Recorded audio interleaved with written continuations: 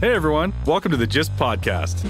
If you're tired of being comfortable and want to take on living life from the context of 100%, fuck yeah! Join us each week as we share lessons we're experiencing in this crazy game called life. We invite you to play along and get your shit together. Take responsibility for how your life is currently going, and at the same time, take on new, fun, and sometimes crazy shit. We promise to challenge your thinking by being vulnerable, authentic, and straight up with what we're dealing with, what doesn't work, and what can.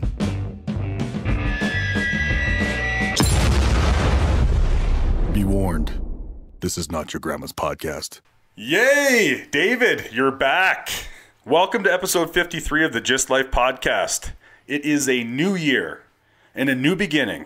It's the perfect time for you to start living your best life on your terms. Our GYST Life community believes that this is possible for anyone who is willing to choose it and willing to look in the dark corners of your life and to deal with the shit that isn't working. We are on a journey to design and create a vibrant, thriving, connected community that fuels dreams.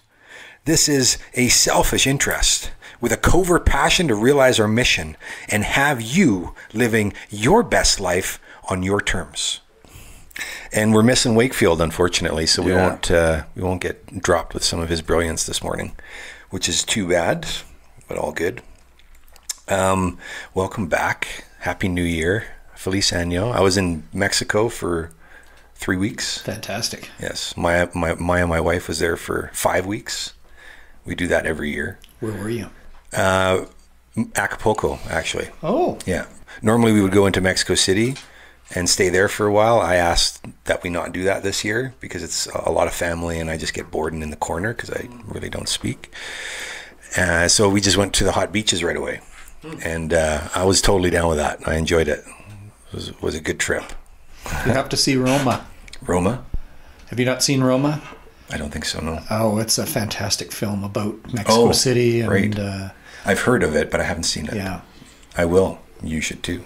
I should. So we have another guest joining this morning, um, Doug Bouey. Is that how you pronounce it? Yes, it is. Welcome. Good morning. So Doug is a coach and mentor to presidents and senior executives at the enterprise level. He knows firsthand what it takes to make cultures that succeed and grow. He's the author of four books, which we'll post in the show notes, and uh, has taught negotiation and counseling at the U of C and was resident lawyer there. That's correct. He's traveled the Camino de Santiago three times so far. This is the spiritual pilgrimage thousands take across Spain and have taken since the Middle Ages. His first spiritual trip changed his life, and we will most definitely talk about what that was. And last year, Doug and a colleague launched the Camino channel with on location interviews of the pilgrims who travel the route and why they do it. He's a writer, a painter, a husband, and when he's not shifting paradigms in large organizations, you can find him hanging with his dog, his family and dog Geo at their place on Hornby Island. So, welcome to the GYST Life, Doug. Thanks a lot. Yeah, you're welcome. Uh, we met, I'll, I'll be a bit briefly, Sure. um, at Creative Mornings, and you heard me do something for the very first time. Yes. Um, thank you for, for being there to experience that. It was absolutely transformative. I thought your courage and uh, your forthrightness, your acuity in identifying what you know you meant to say was absolutely riveting.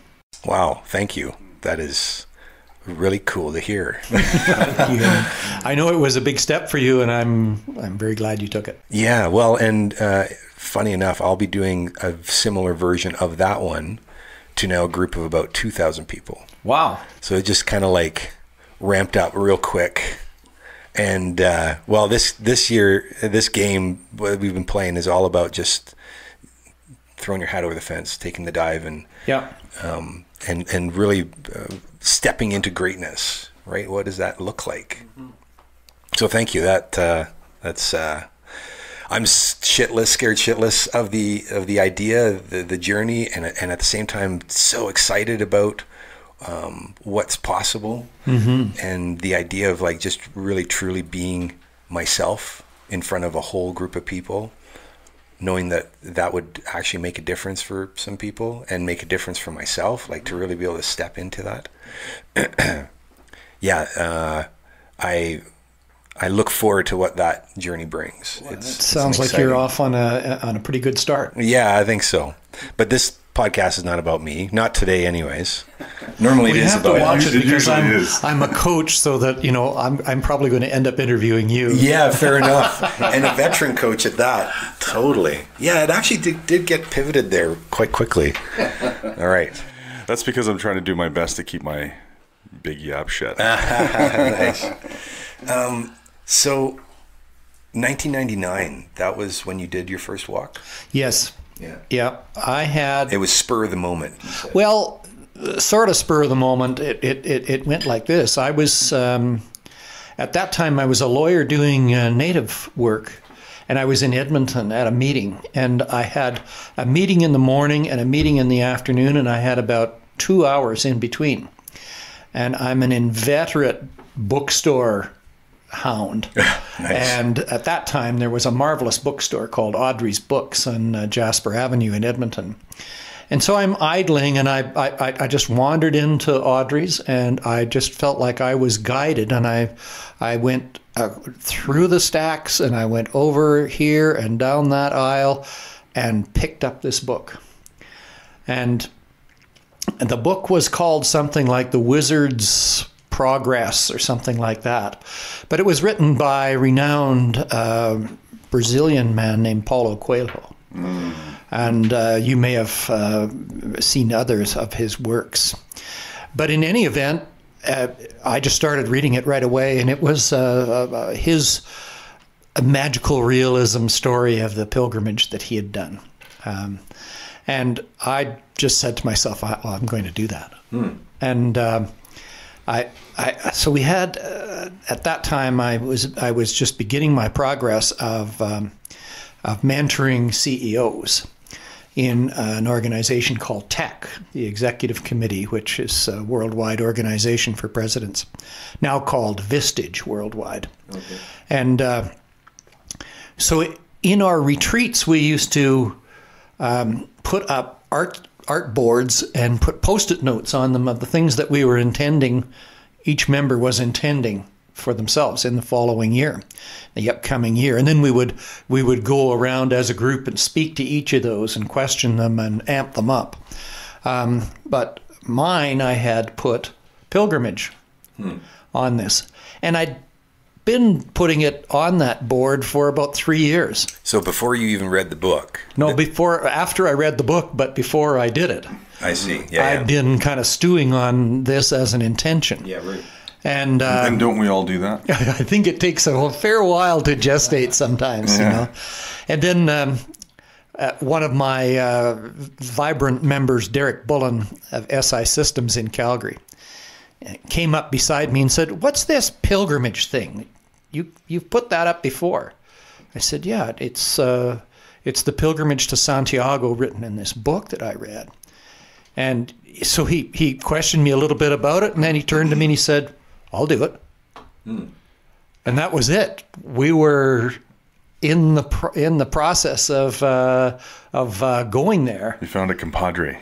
We had a compadre, had a compadre, and Derek, and and it was so exciting because you know at that time um, it was not well known at all, and um, we were preparing.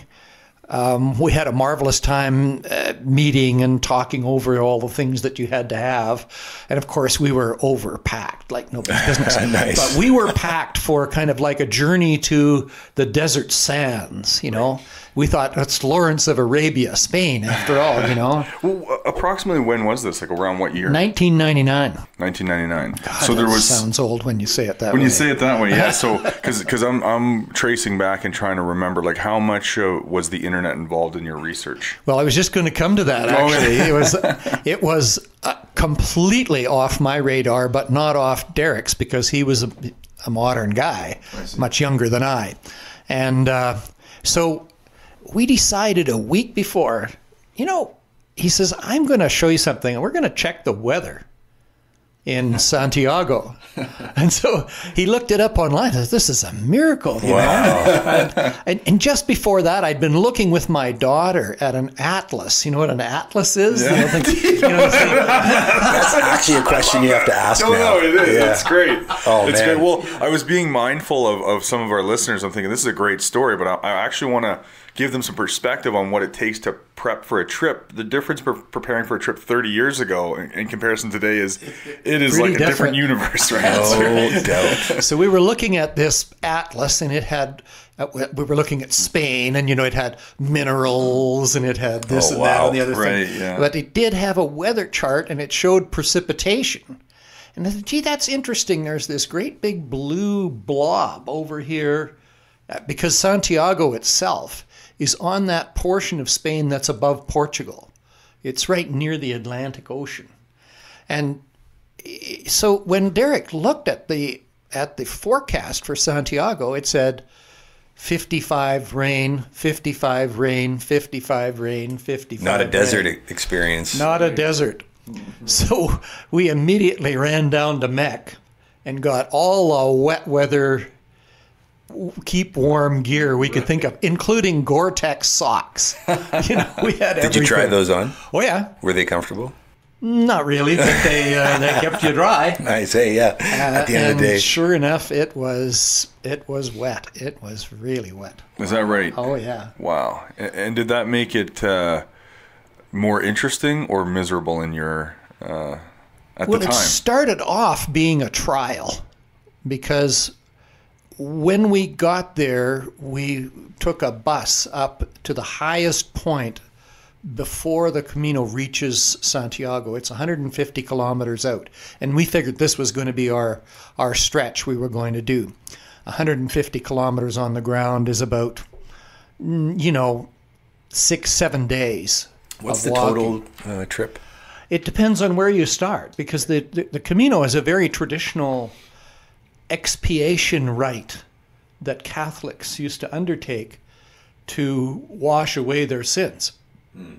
So it, there were actually there are Camino trails that initiate from all over Europe, because if you were sentenced, and that's how it was back in the golden days of Catholicism, if you were sentenced to a Camino, to a pilgrimage, you had to leave your town with nothing and walk from there all the way to the cathedral and back.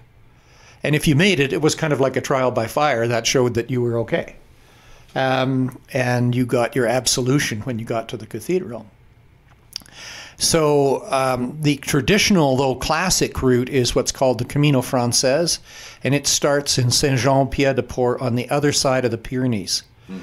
and goes across the northern part of Spain to Santiago. Wow. 800 kilometers is the classic route. That's quite the walk. Yeah. It's a very long walk. Oh, my goodness. Yeah. We experienced something very similar, much smaller, in Mexico City. Yes. During, uh, in around the, the Christmas holidays, and, and you'll have to forgive my, I don't know anything about this. It's not really a thing on my radar. But there will be people um, walking through, or there'll be uh, caravans of cars and people walking through the downtown, uh, the, the, the, downtown core of Mexico City, going somewhere. I have no idea where. Um, tens of 1000s mm-hmm. Probably going to Guadalupe. Okay. Oh yeah, yeah, the yeah. Cathedral the, of the Black, the Black Madonna at Guadalupe in northern Mexico City. Everywhere. It's it's crazy, and they're doing very much the same thing. Like there is there is something that they are, are looking for forgiveness around or uh, to be inspired by. What would it be like if people today had the opportunity for contemplation? Oh, I think that they're horribly missing that. And that's one of the reasons why we decided to do the Camino channel was because we wanted to show people who might be interested not so much the logistics and the arrangements, which is what we were just talking about, mm um, but more the elevated state mm. that people achieve when they're walking, mm. because it's very special and it's very much divorced from technology, immediacy, and all that, and people really come in touch with themselves. Mm-hmm. Um, and it's so scarce. because it's almost impossible to achieve immunity from this hail of technology and, and stimulus. It's impossible, impossible, but also um, even to be aware that it's something that you need because because we're now being born into that not being a thing. Yes, that's at right. All right, and it's been so long that you know perhaps you or I have had that that we even forget that how how refreshing that was. Yes. you know, and, and what that might make possible today. Yes. So what do you say to that? Well, I think that, you know, it's the only way you're going to be able to jump the tracks. If you're on a life that is not uh, fulfilling to you, is not getting you where you think you need to go or want to be, the only way to do that is to radically alter your context. And so I've, I, you know, I've also spent considerable times on, on the Vision Quest, which is a Native American rite of, again, isolation, A, similar context. it's um, uh, it's out in nature, so it's similar. Yes, it's similar in that way. Um, but I think what happens for people is uh, as soon as they start to cut back on the incoming stimulus, then they have this opportunity to get to know themselves a little bit and and to sense what they really care about, and also to move outside themselves into an association with nature, which I, I- uh, is so renewing and so healthy, mm-hmm. and something that now is mediated to us through technology. I love to watch specials by the National Geographic of chimpanzees climbing around in trees, but the idea that we could actually be there mm-hmm. is like no, that's hard to imagine, but you can be. Interesting. Very interesting. The, also, I think the thing that happens when one is exposed to the natural world without mediation is at, at first it seems boring because there's just, you know, there's not this hail of, of stimulus coming Yeah. in all the time. I think that's important to emphasize that though, right? Because those pe- when you when you first remove yourself, that's one of the reasons why you go back. You go, "What? I don't see what all the fuss is about." You don't give yourself the time to actually work all that out and then figure out what's actually behind like what's going on around you. You go, "You know what? I'm out of here. I did Oh yeah, I did a weekend away and ah, I got bored after a while. I'm glad to be back." Yes. It's unbelievable. Yeah, So, Yeah. so true. Yeah, yeah. So uh, we found that people come to some surprising realizations, and they're operating when they're on the Camino at great personal depth. That's, I would say, surprising to them. But it isn't surprising in the sense that anyone who decides they're going to go on that walk has, like as we said earlier, considerable depth of intention behind that Right. and preparation. Yeah. So it's not like they're not going, not knowing what. Sure. They just wandered on the path and Yeah. they're following people. But I did meet one fellow who did. Oh, Oh, nice. That must have been quite the experience for him. It was a remarkable experience. It's going to be in an episode upcoming. Um, just a, a, a, a most vulnerable, naked, open man you could imagine. But his life just before that had been as a yacht captain for the very wealthy. So he was used to steering around Saudi princes and you know the extremely extremely one percent of the one percent uh, wealthy people, and of course he had. Uh, as you can imagine, a great responsibility running a 300 foot yacht or something yeah, like that all like over the $50 world. million dollar. Yeah, it's not a casual thing, and the and the, and the cargo is kind of precious too. Yeah. So he had woken up one morning in London completely broken. Completely broken. This man was in what we would classically call now, I guess in the old days we used to call it, a, nervous, breakdown. he had a complete nervous breakdown. He couldn't function, he couldn't do anything.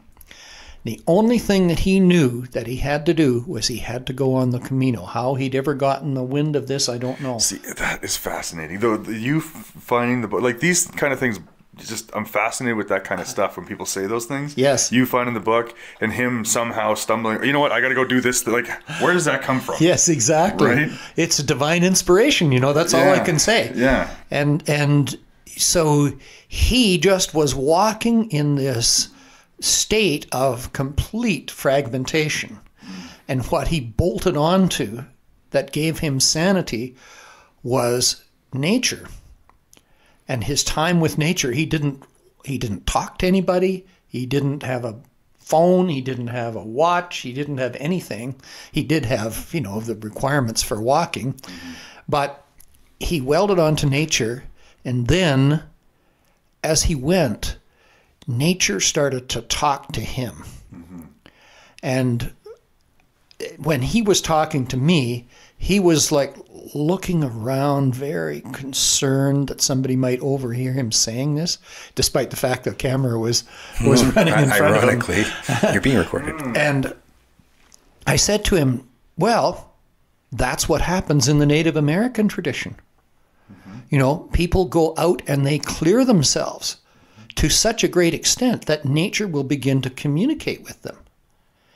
And he just grabbed me like this and, Really? You mean I'm not crazy?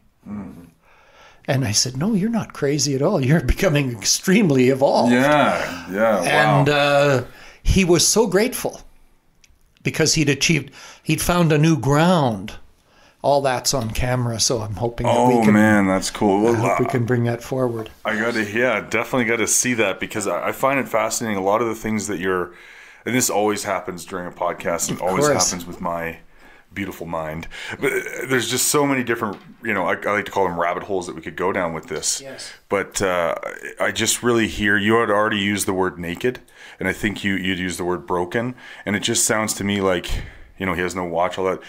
Everything from his environment, everything he thinks he is, and everything he knows himself to be had been stripped away for whatever reason, and there he was left without any identity. Exactly. He had lost crazy. his identity completely. It's unbelievable. Yes. And, and then there's now like that's painful and awkward and uncomfortable. And that's the thing that we struggle with, right? It's like a breakup or anything else. You lost your job. Now you struggle with reality.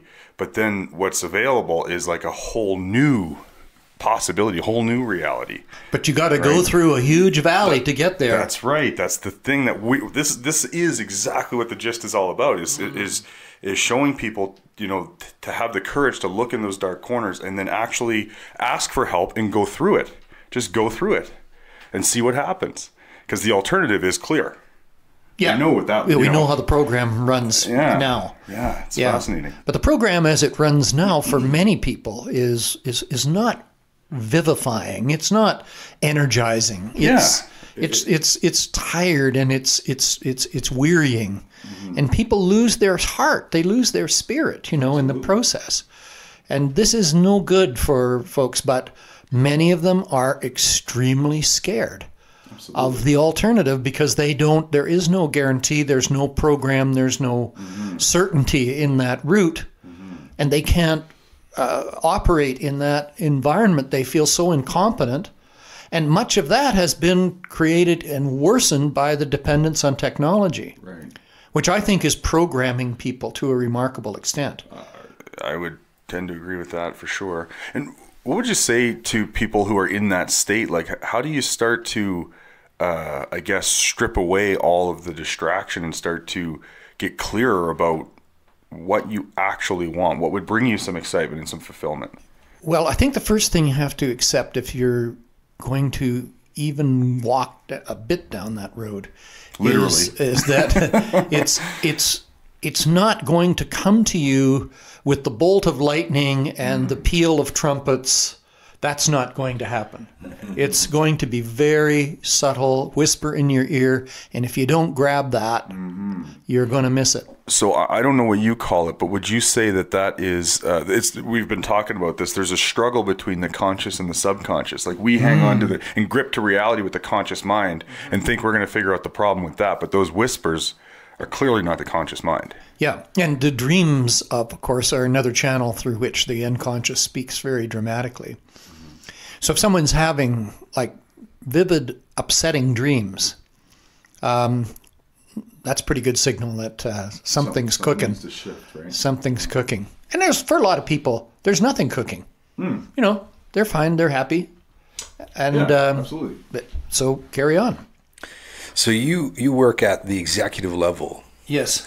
with a uh, a degree, a pedigree, if you will, of uh, of human being that um, a lot a lot of people probably don't even um, can't relate to because they don't even know what's going on at that level. Is there a reason why you ended up deciding to work with with them? Did it just happen that way? It again was another um, uh, wonderful coincidence. Um, I was a lawyer, as I mentioned earlier, and I was doing my native law career, and I knew that wasn't going to work long haul. Um, and so I, I, I'd started on a program to change. Um, and I had a, a plan for that that I was in the middle of. And when I was 40, I met Dr. Lynn Tanner, who is the um, founder of TEC Canada. And he had the rights to TEC. At that time, I was exploring the possibility of going to work in uh, organization development at Shell.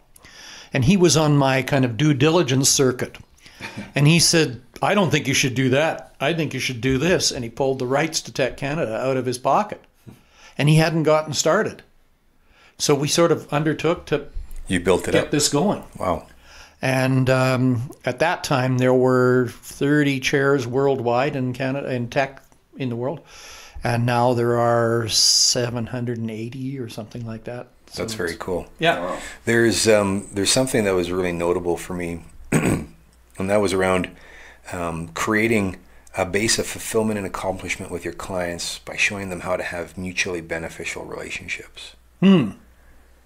There there was something inside of what you talked about there. Hmm. The the building of mutually beneficial relationships. What there's something clearly missing at, at that level that ha- that really rise above as, as being something that a lot of people have talked about as said this is what I really got out of it. Well, you know, there are a lot of models for the way people can lead, and hmm. and and and you know, most of the leaders, well, we all start out young. That's that's totally true. You know, as somebody said, you're young, and that's your fault. Um, well, when when when people have um, models uh, when they're young, they're going to be models like their teachers, like extraordinary people they've met or seen, or in the, in this age through media, and so they they watch these things and they have no real basis to proceed because mostly they're operating off an idea and intention, and they have they, they so they choose these models probably unconsciously, and they just start acting that way. And that isn't always the best the best thing to motivate people to enroll and engage people in your enterprise. It's uh, so some relationship maturity often helps them.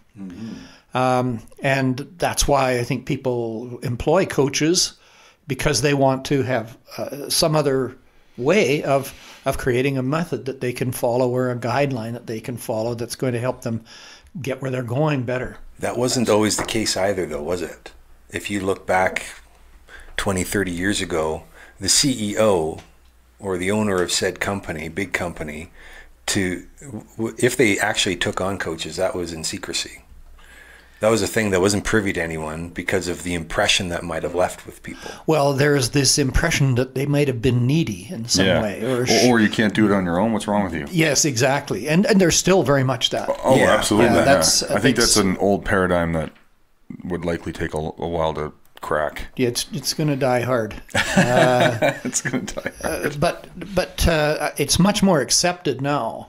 Uh, When I started, there wasn't such a thing as coaches. That's what was so electrifying to me about the TEC concept. Is here is a vehicle by which influence can be imparted to these people, and and it's a marvelous vehicle. Um, so, and you see people who who who grow as leaders exponentially when they're in that kind of environment. Now that field is overwhelmed. There's a coach on every corner, um, and I can't help but think, well, I don't know what these people really could offer because I think it is important that the coach be bigger than the client. Like have have more experience, more range, uh, a broader base to draw from, um, more steeped in developmental and organizational uh, knowledge, that they can give part of that to the client that that will benefit from it, and that it'll be suited to the circumstances, and that's something that I, I wonder about sometimes. Yeah, I wonder about it too. Everybody claims to be a coach of something, yeah. but then the actions really do speak volumes, and have the ones that really make the difference rise above. If you're willing to not rush into it because those that are, are, are out there truly making a difference in that developmental transformational space. Uh, I don't for for me there was a uh, an intuitive pull towards uh, paying a little bit more attention to these people and being a bit more hesitant over here. Part of probably being inundated with media and being part of media, as in like creating it in mm-hmm. my business. There is a healthy skepticism and a caution. And I feel like our upcoming generations, that's the opportunity is to provide them with deeper context for that healthy skepticism and, and caution, right? That would be a wonderful thing. But I think what's going on is I think, as I said earlier, I think they're being deeply programmed by media. Yeah. Yeah, that is a challenge. Media and, and by whatever outlet necessary. It's interesting that we're talking about this, and I, and I don't want to go down this rabbit hole, but I got caught watching uh, about five minutes of actual news today. Hmm. And uh, boy, is anything um, happening? uh, there is a lot apparently happening. It, it's really interesting. It is literally like this is how it occurred to me. It was like a rapid fire reel of negativity and scared and panic it, because in between the uh, whether what's actually going on is what's being portrayed. That's a side point. That's why I said I don't want to go in the rabbit hole. But between the actual news stories of political agendas and different things that were going on that way, in between, and it is literally da, da, da, they just sit there and go bam, bam, bam, bam, bam. They tell all these stories, and in between, they fill it in with a, a murder and an abuse trial and a this and a that. It's it's just like wow. Good thing you don't do that very often. Good thing. It's terrifying because it's like, okay, if I thought, if, if this is what I was inundating myself with, uh, clearly my experience of the world would be, oh my God, like hide under a pillow. What are we going to do? Sky is falling. I'm at nothing good's happening. There's no, this is the news. This is, you know, the news. They yeah. tell you what's going on in the world, don't they? Yeah. Nothing good's happening here. Yeah it's terrifying. Yes. Yeah. So anyway, not to get Hence too the derailed. Need to, um, you know, and I think that's part of, of, of the development of leaders is is is to get them beyond the noise of the everyday, right. and into the longer time span, and into the broader context, so that they're not drowning in that same stuff that is uh, what everybody else is lost in. Right. Um, because they're not they're not being looked to to have to be lost with the herd. Yeah, they're meant to be ahead of the herd. I, I, I, want to circle back real quick to a, a question or, or, an idea we talked about. You were talking about um, if you're a coach, for example, yes. being having a little bit more depth, having a little bit more experience than the person you're coaching. Now. that's something that uh, men at our age, people at our age, kind of grapple with. We go, geez, you know, like who am I to be saying this thing, and how do I, like, you know, doing business with someone who's got more experience than you, or what yeah. have what have you.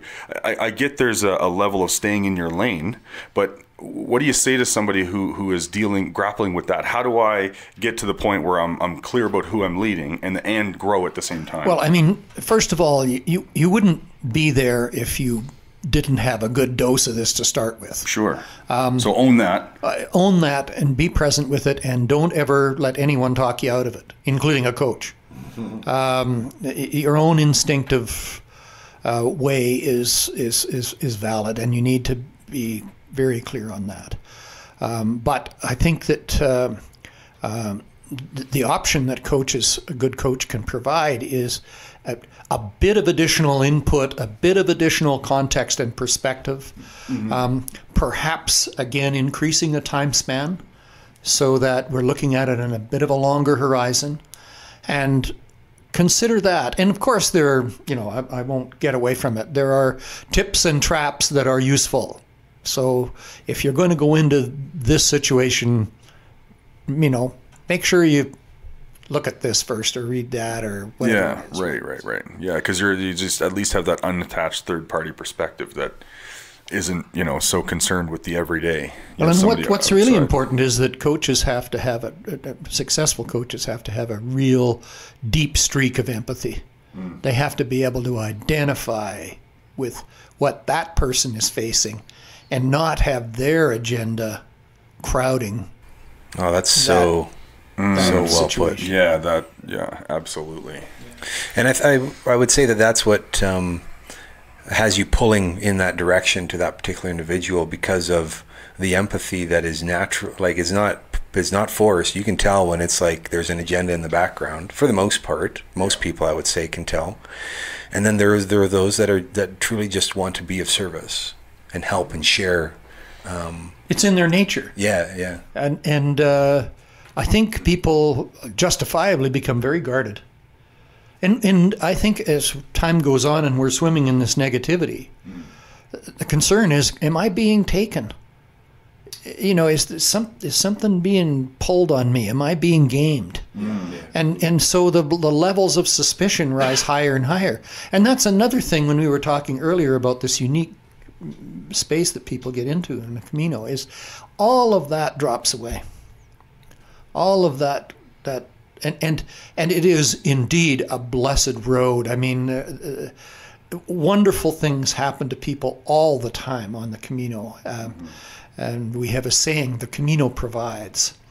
And you know, you would hear people say how broken down they got to a place where they'd lost their sleeping bag and all the rest of it, and somebody just gave them one. And you know, this sort of thing just seems to happen all the time. Yeah, th- there's an interesting thing that occurs, and, and believe me, I am as uh, sheltered as the next guy, but at least I recognize that I am. I, I, I want to get out and travel, and I realize that I'm.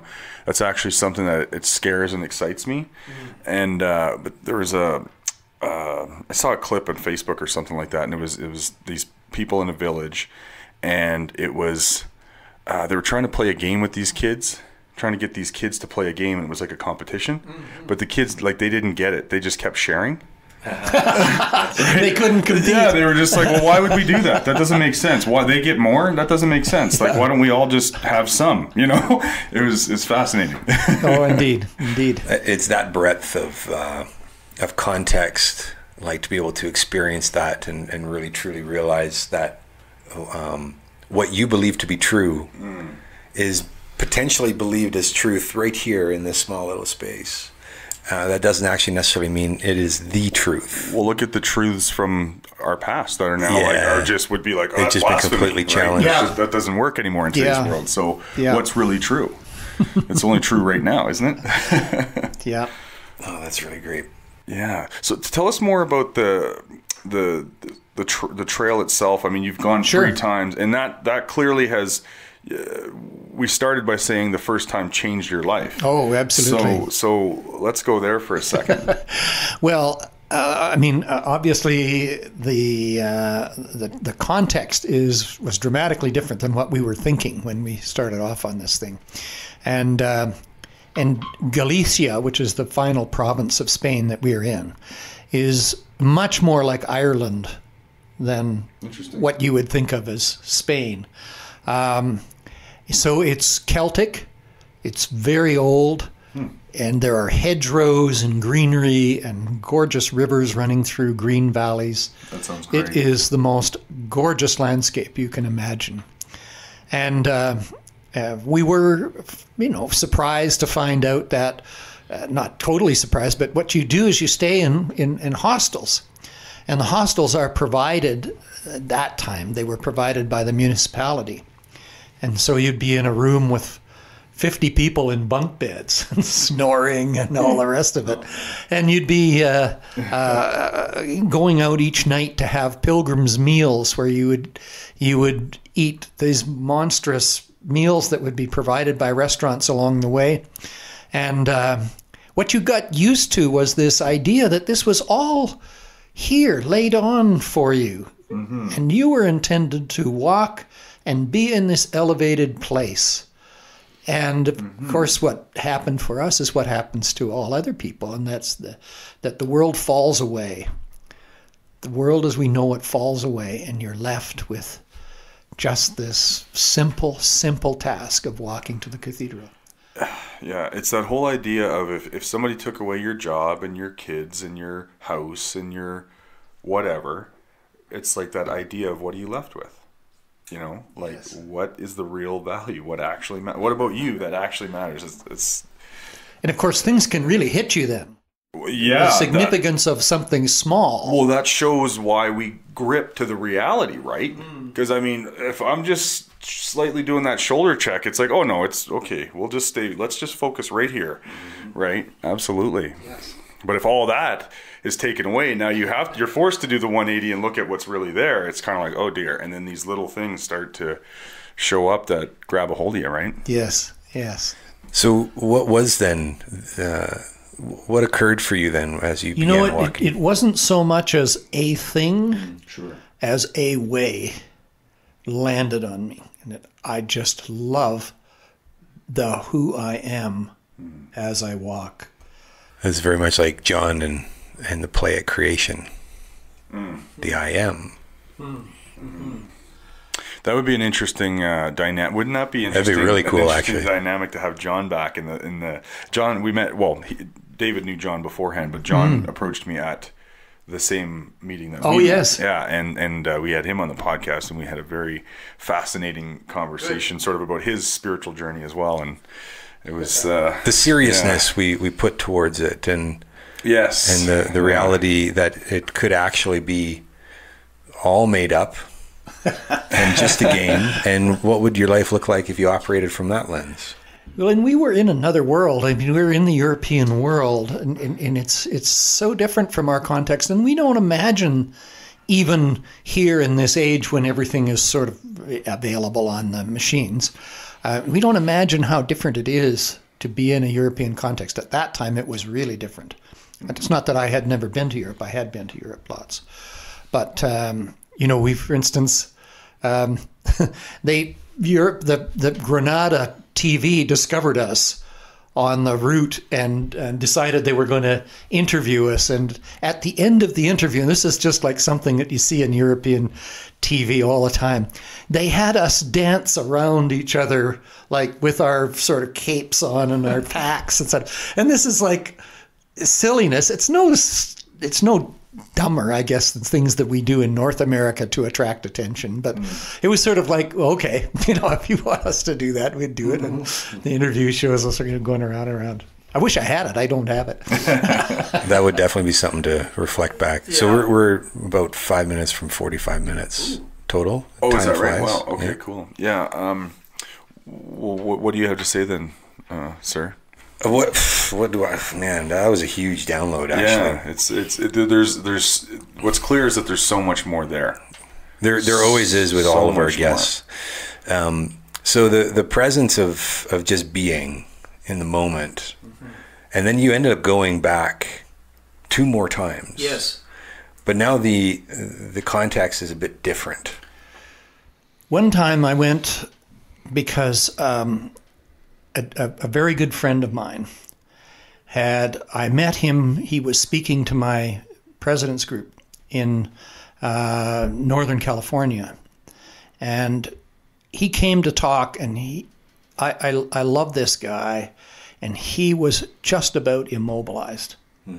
And I, you have to ask him, what's wrong, right? He says, oh, my knee. He says, it's just bone on bone. They tell me I've got to have an operation, have a knee replacement. I'm terrified of it. And he and I had been talking about the Camino just, you know, a few hours before, and he was deeply interested in the Camino. And I said to him, if you go and get the operation, I'll walk the Camino with you. Nice. And we did. Yeah. Oh, that's cool. It was really How's his knees? Great. He, he, he walked that 150 kilometer stretch with us, and we took our spouses that time, which was a different dynamic, as you can imagine. Yeah. and then he came back two years later and walked the 800. Whoa. Wow. So those knees are, are working out pretty They're good. for okay. him. Uh, he'll Yeah. be back on the Camino this spring. He's going to start um, upstream at a place called Le Puy in uh, no, central southern France and walk 500 miles Wow, that is from amazing. there into Saint Jean Pied de Port. So like I mentioned, he's on one of those upstream trails. Yeah, yeah, very cool. So, Doug, how can people find you? Well, uh, you know, the uh, interesting thing is to look at the Camino channel on YouTube, and we have, I think, uh, five videos posted so far, and we're letting those out as we go. Um, and for me, I'm at uh, Boueyd at catalyststrategic.com. Awesome. B O U E Y D. Yeah, so if you uh, if you have a burning question about uh, maybe taking the trip, the long trip into Spain, sounds like you'd be a really great person to talk to Yep. about what that might look like. We're also at Doug at the Camino Channel. Dot com. Awesome, very cool. Yeah, we'll definitely post all of that in the show notes. This has been a pleasure, Doug. So exciting to see how you folks do this. It's very well done, I must say. Thank you, thank you. Well, that's uh, we try, we try. So uh, that was episode forty-three of the GYST Life podcast. Oh, buddy, buddy, where are you? Do you, have a- 43. do you got a DeLorean in the backyard? Apparently, I just I just traveled back in time. Back to the Future now. So that was episode 53 of the GYST Life podcast. Um, we really thank you for listening, and we'll see you next week.